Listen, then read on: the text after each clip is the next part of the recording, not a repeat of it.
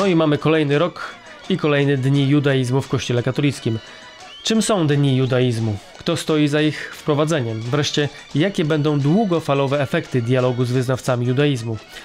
A tak szczerze, czy obchodzenie dni judaizmu w Kościele katolickim to naprawdę dobry pomysł? Zapraszam. Niech będzie pochwalony Jezus Chrystus. Witam Was bardzo serdecznie, drodzy widzowie, na kanale Trudno Być Katolikiem.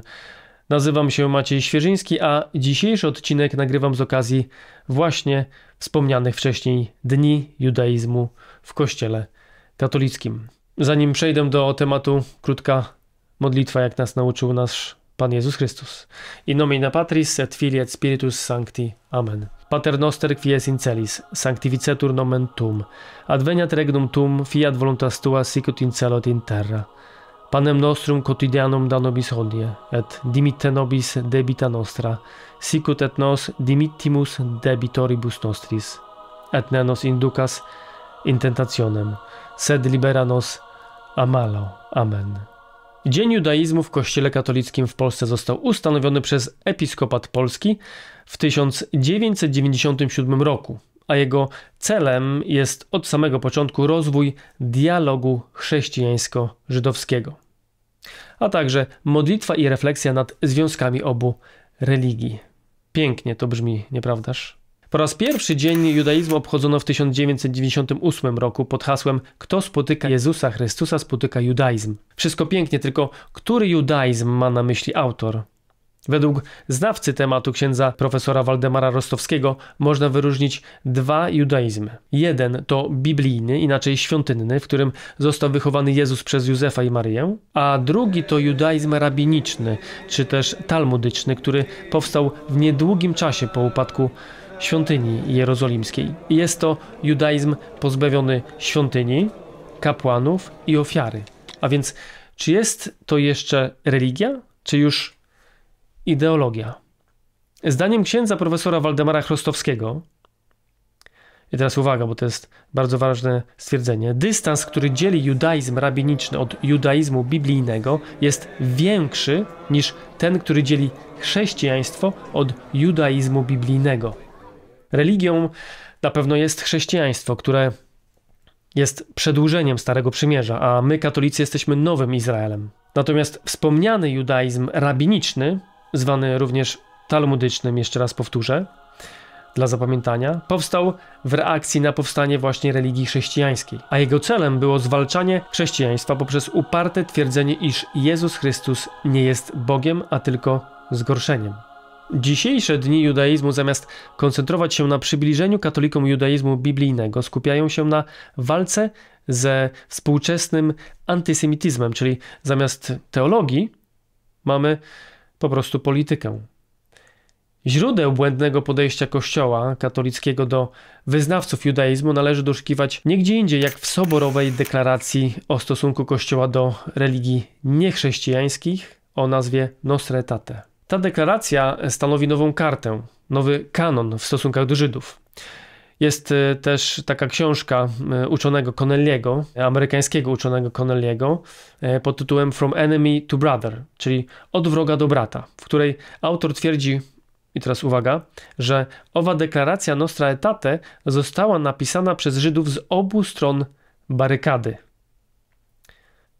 Jednym z autorów wspomnianej deklaracji był Żyd Gregory Baum, który po latach przyznał się do uprawiania sodomii, a co gorsza, ogłosił się przy tym komunistą. W tym miejscu można zadać pytanie, czy wyznajemy, to znaczy chrześcijanie i Żydzi, wiarę w tego samego Boga. W sytuacji, kiedy boski kult chrześcijański uważany jest przez Żydów za kult bałwochwalczy, a kapłani katoliccy nazywani są kapłanami Baala i wróżbiarzami. Natomiast kościoły nasze, nasze kościoły katolickie, nazywane są przez wyznawców judaizmu domami sromoty, głupstwa, nikczemności, bałwochwalstwa i obrzydliwości. Niedziela natomiast i uroczystości chrześcijańskie nazywają rabini w Talmudzie dniami zatracenia albo inaczej dniami Nazarejczyka. Ileż pogardy trzeba mieć, żeby wymyślić takie określenia. Najbardziej zaś nienawidzą chrześcijańskich świąt Bożego Narodzenia i Wielkanocy, gdyż są to, e, gdyż są obchodzone one dla samego powieszonego. W tej wojnie informacyjnej gubi się wielu katolików, zatracając katolicką tożsamość. Kolejny argument za tym, że my, chrześcijanie i Żydzi, nie wyznajemy wcale tego samego Boga, dostarcza nam święty Maksymilian Kolbe w swoim tekście pod tytułem Niebo Żydów. Są tam wszyscy, których Żyd kochał za życia, a nie ma nikogo, kim się Żyd brzydził i kogo nienawidził w tym swym życiu. A więc w niebie żydowskim nie ma Pana Jezusa, ani Matki Bożej, ani świętego Józefa, ani żadnych świętych, których czczą chrześcijanie. Wiemy więc, kogo nie ma w niebie żydowskim. Teraz przypatrzmy się, czym jest napełnione niebo żydowskie. Najprzód są tam wszyscy Żydzi, który, którzy całe życie gardzili Chrystusem, Najświętszą Panną Maryją, krzyżem i nie chcieli się nawrócić. A więc jest to piekło. To są słowa świętego Maksymiliana Kolbe. Wygląda na to, że Bóg Żydów jest Bogiem ekskluzywnym, którego celem byłoby wywyższenie jednego plemienia kosztem innych. Takie podejście stoi w opozycji do tego, czym jest prawdziwy Bóg, Jezus Chrystus. Na porządku dziennym w Izraelu jest y, opluwanie chrześcijańskiego duchowieństwa przez ortodoksyjnych Żydów. Ten sam los spotyka nierzadko pielgrzymów. Dochodzi tam również, jak sami wiecie i widzicie, nierzadko do aktów wandalizmu przeciwko chrześcijańskim świętym miejscom. Ciekawostką jest fakt, że w Izraelu żyją również tak, tak zwani Żydzi mesjanistyczni. Jest to kilkunastotysięczna sekta żydowska, która uznaje Jezusa za Mesjasza. Jednocześnie pozostając wierną tradycji judaistycznej. I ci są dyskryminowani i prześladowani przez ultraortodoksyjnych Żydów. W odpowiedzi hierarchia Kościoła katolickiego bezkrytycznie i bezrefleksyjnie wprowadza do kalendarza dni judaizmu. Jak zauważył kiedyś ksiądz profesor Jerzy Bajda, judaizm nie jest religią w ścisłym, w ścisłym znaczeniu tego słowa. Jest natomiast ideologią, która odrzuca Jezusa Chrystusa. W takim razie dialog z judaizmem to nie religijny dialog, na zasadach równości, lecz zgoda Kościoła katolickiego na wszelkie upokorzenia i wyrzeczenie się własnej tożsamości.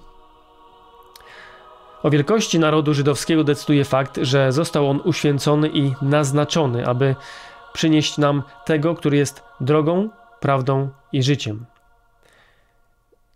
I teraz, gdyby naśladując pokorę i wiarę Abrahama, Żydzi uwierzyli uwierzyli w Chrystusa, wtedy zostaliby nazwani korzeniem i pniem płodnego drzewa oliwnego, którym jest właśnie Kościół katolicki. Natomiast oni jednak odrzucili Boga, tym samym stając się drzewem, który wydaje zgniłe owoce. Judaizm nie ma centralnego autorytetu, nie ma dogmatów. Odwołuje się głównie do interpretacji rabinów, a nie do Biblii. A wiecie, co mają wspólnego postępowcy w kościele, tak zwani moderniści? z wyznawcami dzisiejszego judaizmu. Obie te strony nienawidzą i panicznie się boją tradycji Kościoła katolickiego. Dlaczego? Ponieważ jedni uważają, że skoro świat się zmienia, mówię tu o progresistach, to i Kościół katolicki powinien się zmieniać, odrzucając to wszystko, co jest stare i niedostosowane do naszych czasów. Natomiast Żydzi twierdzą, że tradycja Kościoła jest do nich nastawiona wrogo. Więc jedni i drudzy grają do tej samej bramki, bramki, chcąc nasz kościół po prostu zmienić i dostosować pod siebie.